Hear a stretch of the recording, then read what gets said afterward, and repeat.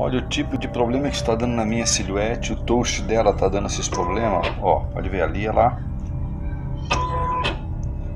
É só porque eu sei onde fica, né? Mas não tem como fazer nenhum trabalho, porque tá dando esse problema aí, ó. Já tentei puxar um pouquinho a, a, o visor, mas não tem jeito. Não tem jeito.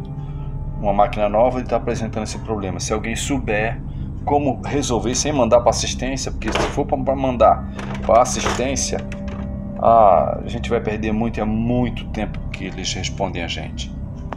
Falou pessoal.